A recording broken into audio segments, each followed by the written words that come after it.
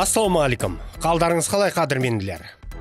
Кешегі шығарылымнан соң батыр жүкенбаевқа қатысты жаңалық бар ма деген көрермендер қатары көбейіпті.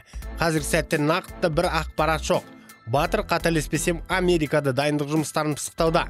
Сондай ақ ол фотосессия жасап жатқан сәтін көрдім. Ол бұрынғысы ма? Қазіргі ме? Ол жағын біле алмадым. Бірақ жаңасы ма деп топшыладым. Мұндай түсірілімдерді әдетте кездесу алдында жасайды. Демек жақын уақытта біз батырды рингте көруіміз мүмкін. Ал бұл аралықта бірінші жартылай орта салмақта үлкен кездесудің сұлбасы көрінді. Батырға тікелей қатысы бар. Ол кездесу өткізіп мансабындағы алғашқы жеңілісіне ұшыратқан сабрель матиас пен батырмен шығудан бас тартқан өзбек шоқжахан эргашев белбеу үшін таласуға жақын тұр. Естеріңізге салайық қазіргі сәтте матиас IBF бойынша әлем чемпионы. Батырды ұтқан соң ол аргентиналық эремя спонсенді жеңіп бұл белбеуді ұтып алған болатын. Енді соны қорғайтын сәт келіпті.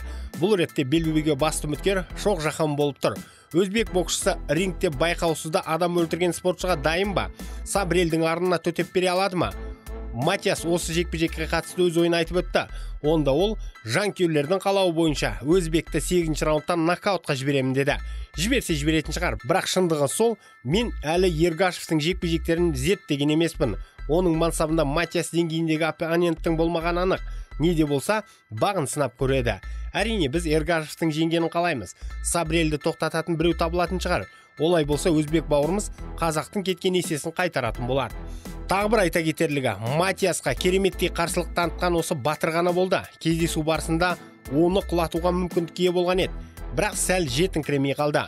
Ал сол кездесуді еске алсам раундтан раундқа матиастың денесі ісіп ол шаршаудың орнына керісінше күш ала бастаған еді. Жалпы адам организміне бұл қажат қасиет. Осыдан ақ сол кезде бұл боксшы допинг қабылдайды ма деген қауіп туындаған. Алайда американдықтарға қатысты профибокс маңындағылардың өз ережелері бар. Оны біз түсіне бермейміз. Сондай ақ тура осы салмақта IBO белбеуінің иегері жанқош тұраровтың да келесі қарсыласы туралы ақпарат бар. Оған сәйкес тұраров келесі кездесуінде өз еншісіндегі белбеуді қорғайды. Бұл кездесу германияда өтуі мүмкін. Ал қарсыласы жергілікті боксшы тима шварцкоф болады делінуде.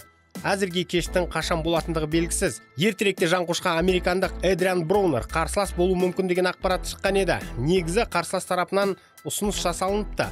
Алайда броунер ұзақ уақыт рингке шықпағандықтан жанқош секілді қауіпті қарсыластармен кездесуге келісім бермеген.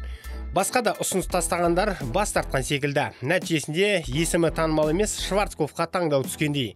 Бұл жекпе жек туралы нақты ақпараттарды жақын күндерден күтеміз. Ал бұл аралықта халықаралық бокс қауымдастығы өзінің беделін қалыптастырып халықаралық олимпиада комитетіне қайту бойынша жұмыс жасап бастады.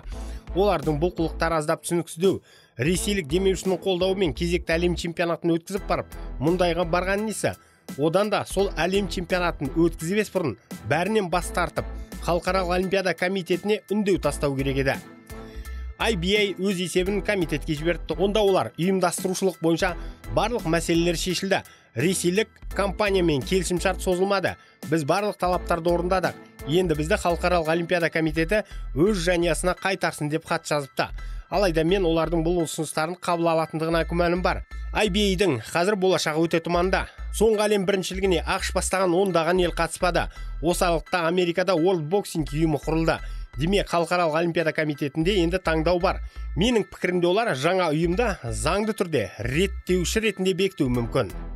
Ал мұндай жағдай неге орын алды? Бәріне әуесқой бокстың қазіргі функционерлері кінәлі. Олар ұйымды орысша айтқанда бардаққа айналдырып жіберді. Жаппай коррупция белең алды. Медальдар алдын ала бөлінетін болды. Түрлі кикілжіңдер туындады. Бір сөзбен бұл ешкімге ұнаған жоқ. Әрине кейбір елдер осы тәртіпсіздік аясында өздерін еркін сезінді. Оларға бәрі ыңғайлы еді. Енді міне арт неге алып келіп соқты? Әуесқой боксқа қазір толықтай өзгеріс қажет. Бәрін реттеуі тиіс. Әйтпесе бокс қазіргі күйінде олимпиадалық ойындардан алып тасталынуы мүмкін.